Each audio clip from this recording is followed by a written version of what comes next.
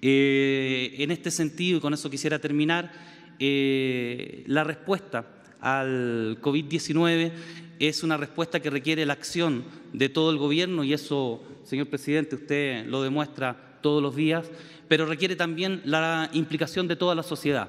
Aquí no, no, se puede pensar que solamente desde el aparato estatal se va a poder dar solución a todo lo que vamos a enfrentar. Se necesita la implicación de los medios, de la sociedad civil, de la comunidad, de todos. Y por supuesto, también de la Organización Panamericana de la Salud, la Organización Mundial de la Salud, pero además de todo el sistema de Naciones Unidas que se ha puesto a disposición del Gobierno de México para aportar en el apoyo a la respuesta intersectorial que eh, se tiene que dar a esta problemática, porque si bien evidentemente el riesgo principal y el problema principal es en salud, ya lo estamos viendo, se afecta la economía, se afecta el turismo, se afecta diferentes otros sectores, la cultura, etcétera.